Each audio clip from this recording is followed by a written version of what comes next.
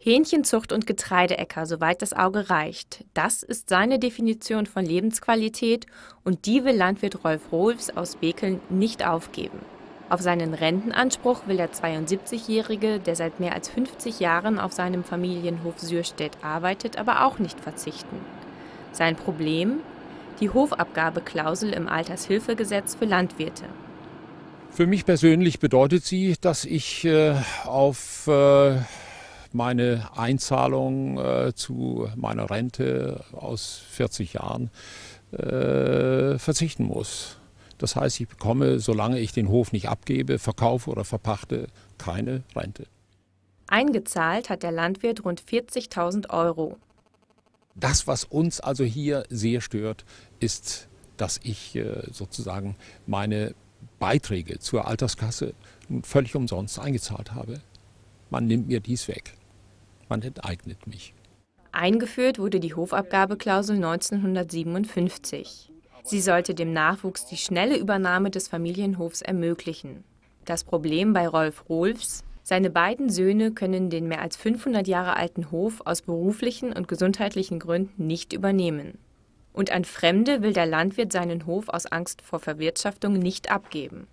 Abgesehen davon müsste er sich dann wahrscheinlich einen neuen Wohnsitz suchen. Obwohl die Klausel für viele wie Rolfs als längst überholt gilt, stößt sie bei einigen Landwirten trotzdem auf Zustimmung. Also man sollte jungen Leuten die Chance geben, ähm, Entscheidungen zu fällen und auch die Konsequenzen damit daraus zu tragen. Und auch der Landwirt hat irgendwie auch das Recht darauf, in den Ruhestand zu treten und dann praktisch die Geschicke des Betriebes abzugeben. Er kann ja noch was tun auf dem Betrieb, wenn er möchte. Er kann auch an den Entscheidungen beteiligt werden. Aber die Verantwortung sollten eigentlich jüngere Leute haben.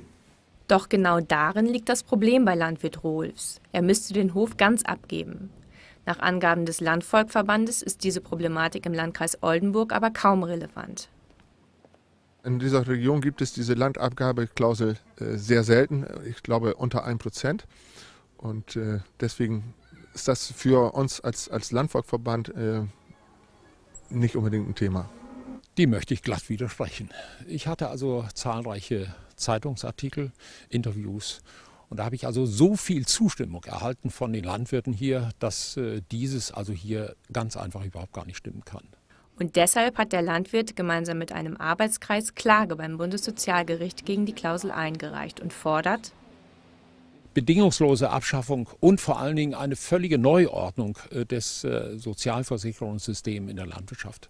Das müsste man also wirklich auch deswegen machen, weil wenn die Höfe immer größer werden und nur noch zum Schluss Mammutbetriebe übrig sind, dann ist der Kahn schon an die Wand gefahren. Dann ist das Ganze überhaupt nicht mehr zu finanzieren. Vor allen Dingen wird also der Steuerzahler dann also seine Zuschüsse nicht mehr zahlen wollen. Dass in den kommenden fünf Jahren eine Entscheidung zugunsten der Landwirte gefällt wird, ist unwahrscheinlich. Deswegen setzt Rolf Rohlfs alle Hoffnungen in seinen sechsjährigen Enkel Alexander. Bis der den Hof übernehmen könnte, werden aber weitere 20 Jahre vergehen müssen, in denen Rolf Rohlfs seinen Hof selbst bewirtschaften muss.